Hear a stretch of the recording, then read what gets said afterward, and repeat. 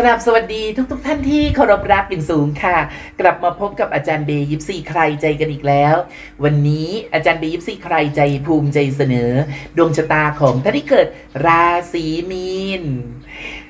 เป็นคลิปพิเศษค่ะ ท่านผู้ชม วันนี้เป็นคลิปช่วงสงกรานต์ปี 2565 นะคะเบย์ยิปซีใครใจได้นำไพ่ชุดไรเดอร์เวทค่ะ มานำเสนอให้กับเพื่อนๆพี่ๆและลูกค้าทุกท่านทุกคนทั่วโลกได้รับชมได้รับฟังกันนะคะ โดยการเรียงไพ่ในวันนี้เนี่ยเรียงตามภพต่างๆ ซึ่งการเรียงตามภพต่างๆ นี้ อาจารย์บีฟซีใครใจได้ใช้หลักของท่านอาจารย์ธนกรสินเกษม อดีตนายกสมาคมโหรแห่งประเทศไทยในพระบรมราชินูปถัมภ์ค่ะนำมาเสนอนะคะ เรามาเริ่มรายการกันเลยค่ะ โอมาคีพาหูบุพังสการะวันธนังครูบาจาริยังอาจาริยะเทวา มุนีฤาษีสิทธาปิตมตาอรูคเยนะ สุเขนะจัชมามีหัง สาธุสาธุสาธุเป็นสิทธิ์มีครูนะคะ ดังนั้นเวลาที่นำวิชาของครูบาอาจารย์มาใช้ ต้องคอยระลึกถึงคุณของครูบาอาจารย์ค่ะ เดี๋ยวไปยิปซีใครใจอ่านไพ่ในตำแหน่งที่หนึ่งนะคะ ซึ่งตำแหน่งตันุค่ะ โอ้โห ไพ่ใบแรกนี้นะคะ ได้ไพ่ Knight of Swords อันนี้เป็นไพ่ใบแรกของท่านที่เกิดราศีมีนนะคะ บ่งบอกให้ทราบว่าตัวท่านที่เกิดราศีมีนเนี่ยตัวท่านเองตลอดช่วงสงกรานต์เนี้ย ท่านไม่ทำอะไรช้าหรอก ท่านเนี่ยมีไหวพริบมีไอเดีย ลงมือทำในทันทีเลย แล้วก็อย่างรวดเร็วทันใจด้วยนะคะ ไม่ว่าท่านทำธุรกิจใด ๆ ก็ตาม หรือไม่ไม่ว่าท่านกำลังเรียนรู้ศึกษาเรียนรู้เรื่องใด ๆ ก็ตามนะคะ การตัดสินใจของท่านเนี่ยรวดเร็วว่องไวลงมือทำในทันทีนะคะ เพื่อความที่งานนั้นหรือผลงานนั้นเนี่ยสามารถออกมาได้อย่างมีประสิทธิ ธิภาพและมีประสิทธิผลนะคะ ท่านจะต้องเพิ่มในเรื่องของความไม่ประมาท ไม่รีบร้อนจนเกินไป ท่านทำสิ่งใดต้องมีในเรื่องของหลักการ มีการจัดลำดับขั้นตอนนะมีการศึกษามีการเรียนรู้ มีการวางแผนล่วงหน้ามาก่อนค่ะ นะคะ และท่านก็ลงมือทำได้ในทันที อย่างชาญฉลาดอย่างมีไหวพริบอย่างมีความสุขุมพิภาพนะคะไพ่ใบนี้บอกเลยนะว่าตัวท่านเองเป็นผู้ที่ทำไมทำไมคะมีความเป็นตัวของตัวเองสูง กล้าตัดสินใจได้ด้วยตัวเองนะคะ โอ้โห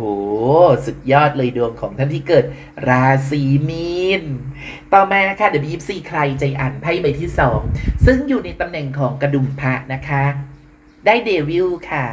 ไพ่ Devil เนี่ยนะบอกมาเตือนมาเลยว่า ถ้าที่เกิดราศีมีนเนี่ยในช่วงสงกรานต์นี้เนี่ยนะคะ การเงินการทองของท่านเนี่ยมันมีเข้ามาแบบว่าเข้ามาเยอะและรายจ่ายก็แยะตามด้วย ดังนั้นท่านจะต้องมีการบริหารการจัดการในเรื่องของระบบบัญชีรายรับรายจ่ายของท่านเนี่ยให้ดีมากๆนะคะนะอย่างเช่น ท่านต้องการซื้อสินค้า แบรนด์ราคาแพง และโดยที่ท่านยังไม่ได้ออกงานปไปออกงานสำคัญ หรือว่าต้องใช้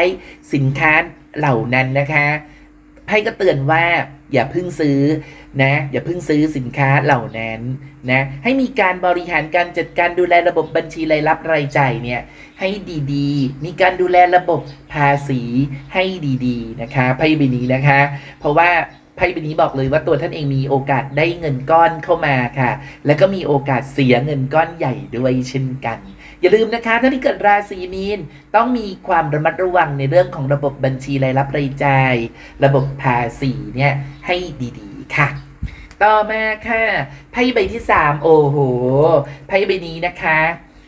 Age of Wands อยู่ในตำแหน่งของสหัชชะค่ะ บอกให้ทราบว่าตัวท่านที่เกิดราศีมีนเนยเป็น คนที่โชคดีนะเนี่ย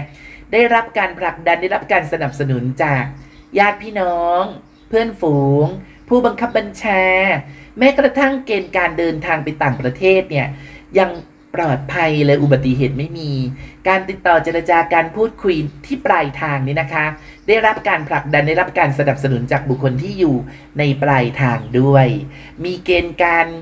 ขยับขยายกิจการนะคะ มีเกณฑ์การ ขยับขยายในเรื่องของสาขาการงาน มีเกณฑ์ขยับขยายในเรื่องของพันธมิตรด้วยนะคะ โอ้โห ดวงไม่ธรรมดานะเนี่ยท่านที่เกิดราศีมีนนะคะดังนั้นเนี่ยนำขึ้นให้รีบตักนะคะ อย่าอยู่นิ่งๆ อย่าอยู่เฉยๆนะคะท่านที่เกิดราศีมีนโอ้โห